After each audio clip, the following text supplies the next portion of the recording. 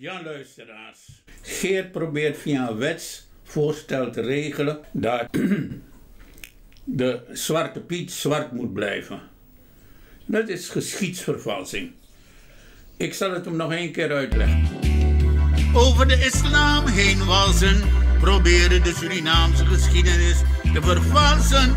Mensen, het lijkt erop of Geert radicaliseert. Blonde Geert vertelt u weer alles verkeerd. Verbazingwekkend, zoals hij als een ubermensch reageert. Onder een huid, vermomd met roet, schuilt een blanke Robin Hood. En zie hier hoe Geert de zaak heeft omgekeerd. Blonde Geert vertelt u weer alles verkeerd omdat hij in de politiek met deze zaak marchandeert. Onder een huidskleur, vermomd met roetschuilt een blanke Robin Hood. En zie hier hoe Geert u manipuleert.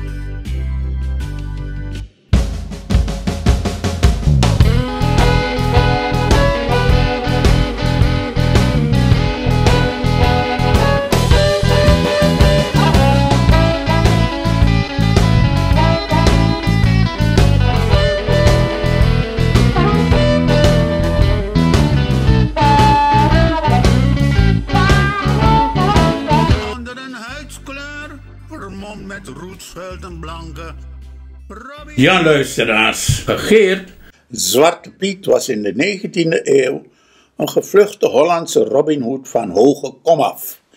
Hij leefde in onmin met de Nederlandse overheid en werd gezocht. In de 19e eeuw gingen deze mensen schuilen onder de slaven in Suriname. Maar na de afschaffing van de slavernij zouden zij alsnog gevonden worden. Daarom moesten zij ten tijde van het abolitionisme uit Suriname weg. De rijke families waaronder reders waren, bedachten het Sinterklaasfeest. De stoomboot meerde in Suriname aan. De slaven die met de vluchteling op goede voet hadden geleefd, zorgden voor afleidingsmanoeuvres tegenover de buitenwereld, waardoor de zwartgemaakte vluchteling onopgemerkt aan boord kon komen.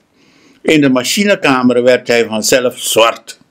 Het spreekt vanzelf dat elk jaar niet te veel zwartgemaakte pieten konden ontsnappen vanwege de pakkans. Heeft daarom de afschaffing van de slavernij in Suriname zo lang geduurd? Over de islam heen walsen, proberen de Surinaamse geschiedenis te vervalsen. Mensen, het lijkt erop of Geert radicaliseert. Blonde Geert vertelt u weer alles verkeerd. Omdat hij in de politiek met deze zaak marchandeert.